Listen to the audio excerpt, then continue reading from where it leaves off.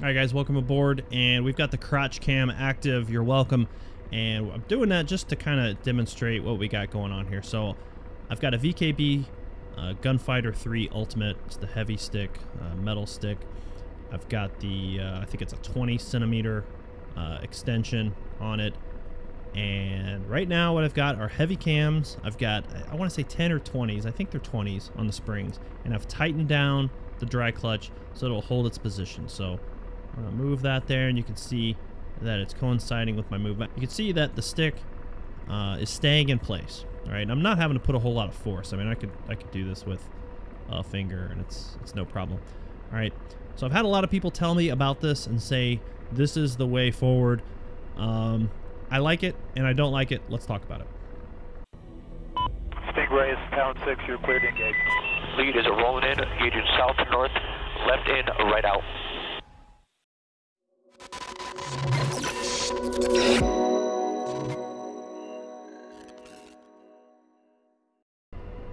So what I see with guys a lot of times is that they're over controlling the aircraft. So one of the things that we can do to get over that is of course practice and just get good. But the other is we can mess with our saturation and our curves.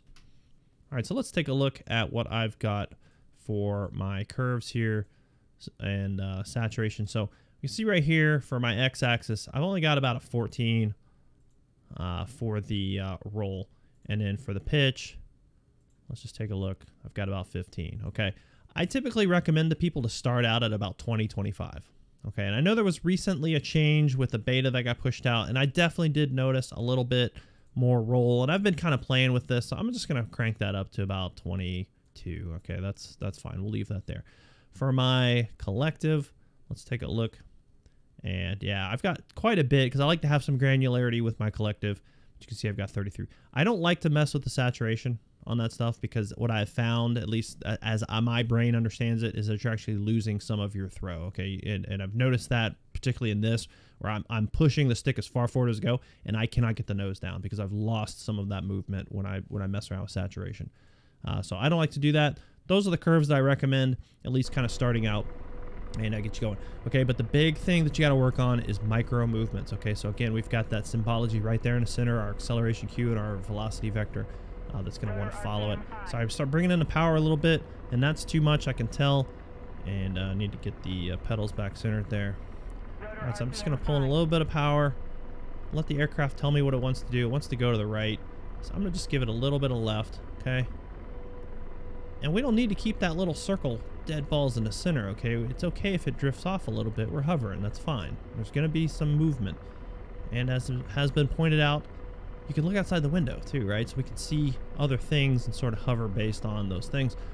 But if we're looking at symbology, which I do recommend because when you start flying this thing at night, and it's super dark. Symbology is the only thing you got going for you. But notice how my hand is barely moving. Okay, I'm making very micro movements. But make no mistake, I am making movements and I am making corrections to the aircraft.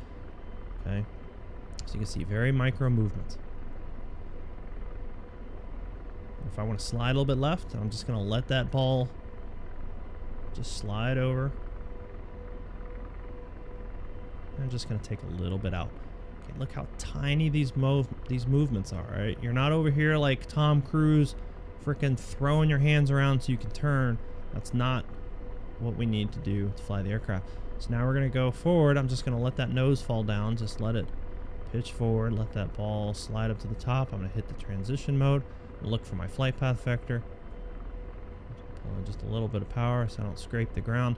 And again, I'm just a little bit of forward pressure on that cyclic. I'm not throwing it forward. I don't need to. Okay. Put a little bit of pedals. Try to keep my uh, nose to tail trim. Put that flight path vector in front of me. Keep it in front of me. Keep that acceleration cue and velocity vector straight up and down. Okay. I'm going to hit the trimmer and work with my pedals to get this thing trimmed out the way I want it. And there we go.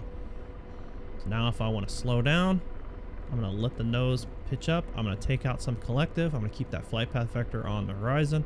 And I'm just letting that nose come back. I'm going to hit the trimmer again just for my pedals. Gave me just a little bit of a whoa boy, and that's okay. Okay, now I'm just gonna start easing that nose back down as I'm pulling in some power. But Again, you notice I'm not throwing the aircraft around. It's micro movements. So if you're unable, if you're un incapable of making those micro movements right now, then I highly suggest that you start messing with your curves a little bit more. Maybe maybe be even a little bit more judicious about the level of curve that you put in. But tiny, tiny movements, and I think I think that's the big problem. I think a lot of people have problems with all the helicopters because they're just not used to doing those, or maybe they just don't fully understand how micro movements uh, you need to have. So I've been messing around with this dry clutch.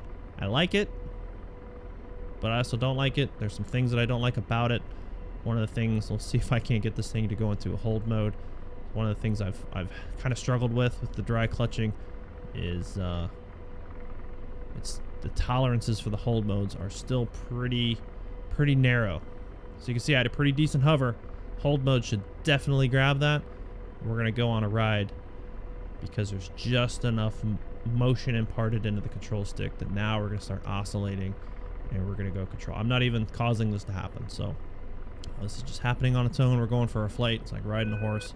The horse decides to go somewhere. But look how much extreme movement I get when I start yanking the, the cyclic left and right, okay? We don't need to do that, all right? That's too much. Small movements. Keep our airspeed up. Keep that nose forward. It's small movements. That's all we need to do to turn, okay? Keep the nose forward. Trim it out a little bit. Nose forward. Just a little bit. Okay. Even in a, a panic situation, like suddenly a tree you don't see, you don't need to yank on the stick. It's just small, small movements. All right. So anyway, really the point of this video is just to sort of demonstrate some of those small movements that we do need to worry about. I'm still torn on the whole dry clutch situation. I'm still playing with it, not giving up on it yet. I don't like that I can't use my hold modes uh, the way that I'm used to, uh, but I do like this being able to kind of not have to fight the springs because that does get exhausting. And I will tell you, with the Apache, it's not a big deal because you do have the force trim uh, switch, but I'll tell you, when I was flying the Kiowa, the pre-build that, that I've been testing out, I spend a lot of time like this with the stick forward. And fighting that heavy spring, it gets pretty exhausting.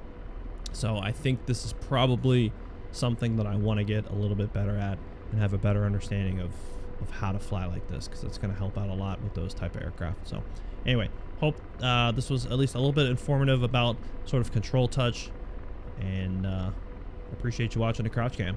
We'll see you next time. Take it easy.